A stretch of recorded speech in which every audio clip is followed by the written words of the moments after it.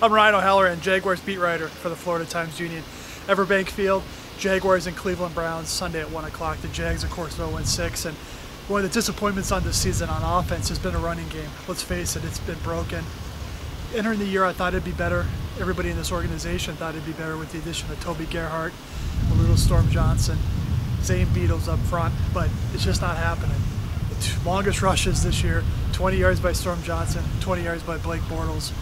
He's the quarterback. That shouldn't be happening. And last week against Tennessee, Bortles had the two longest carries, an 11-yard keeper and an 11-yard scramble.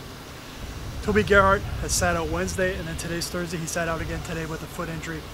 To me, it looks like they they want to shut him down for another week, give him two weeks of rest to make sure that foot is ready. He's able to play with some burst, play with some shiftiness that he's been lacking since he hurt it week one. The Jaguars want to win a game. They've got to get the run game going because as Gus Bradley said yesterday when I asked him about it, good running game equals play action, which equals shots downfield. This team isn't running it. They're not taking shots downfield. That doesn't equal touchdowns. I'm Ryan O'Halloran for the Florida Times.